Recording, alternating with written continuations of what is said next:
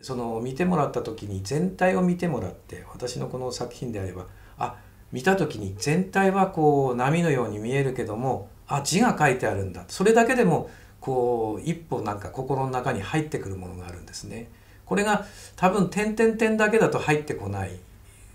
まあそういうところをこう見ていただければ書にも興味を持ってもらえるかなというふうな形があります。だから前衛書っていうのが